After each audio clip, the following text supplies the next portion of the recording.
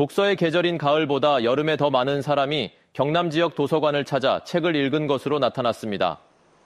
지난해 7월과 8월 경남도교육청 소속 27개 공공도서관 이용자 수는 100만 9만여 명으로 9월과 10월 이용자 100만 3만여 명보다 6만 명 더 많았고 이용 자료 수도 7월과 8월이 9월과 10월보다 43만 권 더 많았던 것으로 집계됐습니다.